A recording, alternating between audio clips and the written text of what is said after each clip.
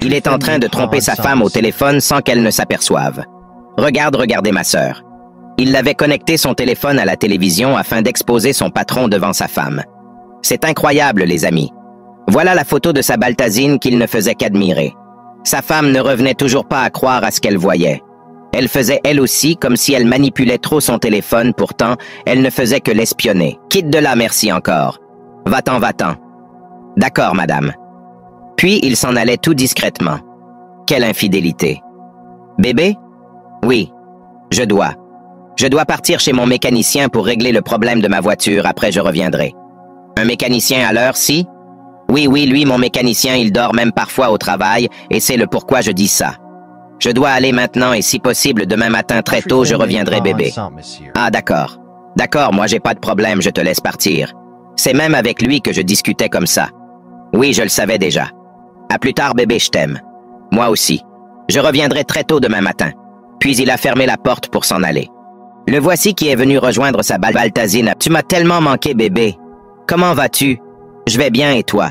Super bien. Pendant qu'il discutait, sa femme l'a envoyé les photos de ses conversations qu'elle avait capturées à la télévision. C'est quoi ça? Je suis foutu là! Y a quoi, bébé? Je suis foutu. On va se capter prochainement, j'ai une urgence à la maison. Moi, j'ai besoin de toi et ça m'énerve. Prochainement, prochainement. Ça m'énerve, bébé. Reviens, j'ai besoin de toi. C'est inadmissible, ça. Il est rentré et se mettait aussitôt à supplier sa femme. Je reconnais que j'ai déconné, bébé, pardonne-moi et je ne vais plus jamais le recommencer. Tu as fini de voir ton mécanicien? Regarde maintenant comment tu me supplies comme si tu étais innocent. Je suis vraiment désolé, vraiment pardonne-moi. Donc tu es même désolé, c'est ça? Pardonne-moi, bébé.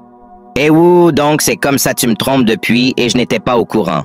C'est grâce au domestique de la maison que j'ai su que tu étais infidèle à travers ta messagerie. Mais dis-moi ce que je n'ai pas que ta Baltazine a plus que moi. Non, dis-le-moi parce que finalement tu me déçois. Sache qu'à compter d'aujourd'hui, toi et moi, c'est terminé. N'ose même pas me demander de rester avec toi. Pardon, bébé. Pardon, ne me fais pas ça.